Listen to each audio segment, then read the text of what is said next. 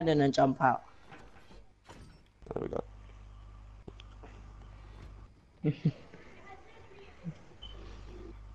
Oh, fuck's.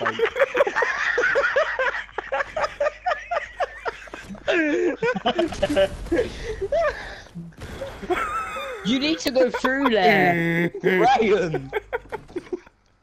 Ryan, I just see some cannon turn up like, yeah.